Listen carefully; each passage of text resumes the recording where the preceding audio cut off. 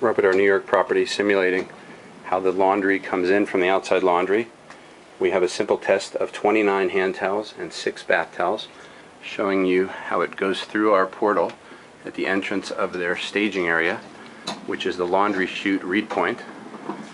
This is where they stage all their, their dirty linen as well as their clean. There's the laundry chute.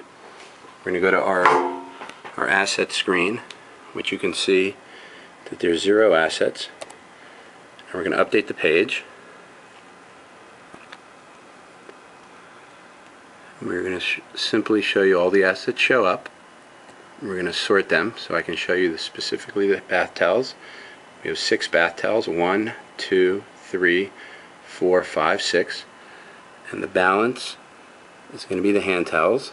You can see there's a total of 35 assets. This is William Serbin, Linen Technology Tracking, Miami, Florida.